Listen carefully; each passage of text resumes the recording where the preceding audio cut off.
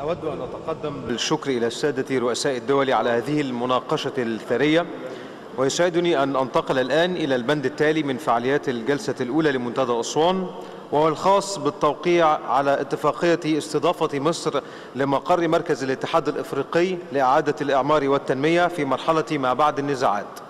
وتأتي استضافة مصر لهذا المركز المهم في إطار ريادة فخامة الرئيس عبد الفتاح السيسي لملف إعادة الإعمار والتنمية لمرحلة ما بعد النزاعات في الاتحاد الإفريقي.